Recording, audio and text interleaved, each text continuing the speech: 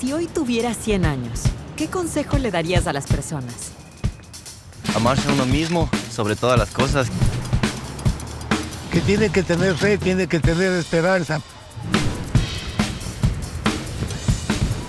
Date tu gusto, no esperes mucho. Mi consejo es que nunca es tarde para empezar de nuevo. Lo que realmente importa no es el tiempo, sino lo que haces con él. Banco Guayaquil, 100 años.